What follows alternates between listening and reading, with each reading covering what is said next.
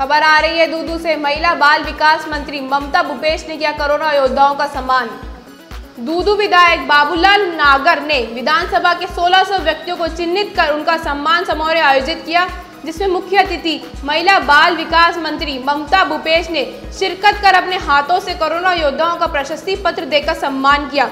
साथ ही केंद्र की भाजपा पर जमकर बरसी, कहा कि राजस्थान की सरकार के साथ जैसा भेदभाव केंद्र ने किया है ये स्वच्छ राजनीति के लिए अच्छा नहीं है।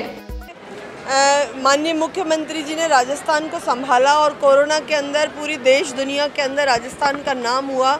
उसी प्रकार से बाबूलाल नागर जी ने अपने विधानसभा क्षेत्र के अंदर एक अनूठी पहल करके कोरोना योद्धाओं का जो सम्मान समारोह किया, उसके लिए तो मैं इनका बहुत बहुत शुक्रिया अदा करना चाहूँगी और उम्मीद करूँगी कि सभी जनप्रतिनिधि इस राह पे चलें, क्योंकि ऐसी मुश्किल की घड़ी में जब हमारी आंगनबाड़ी की बहनों ने घर घर सर्वे किए घर घर गई और अपनी जान जोखिम में डाल के राजस्थान की जनता को संभालने की कोशिश की तो हमारा भी दायित्व बनता है कि हम इनको अभिशंसा करें इनकी। इसी संदर्भ के अंदर ये आज ये कार्यक्रम आयोजित किया, ये बहुत ही अपने आप में अनूठी पहल थी।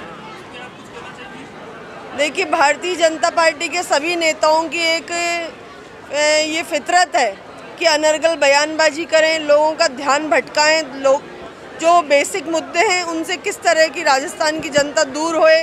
क्योंकि आज बेरोज़गारी का मुद्दा है, भारतीय जनता पार्टी की केंद्र में सरकार है। नरेंद्र मोदी जी जब सरकार में आए थे, उस दौरान उन्होंने कहा कि मैं इतने करोड़ नौकरियाँ दूँगा, पंद्रह पंद्रह पंद्रह लाख रुपए हर घर के आदमी के खाते में आएँगे। बहुत सी ऐसी झूठी प्रलोभन देके वो भारतीय जनता पार्टी सत्ता में आई।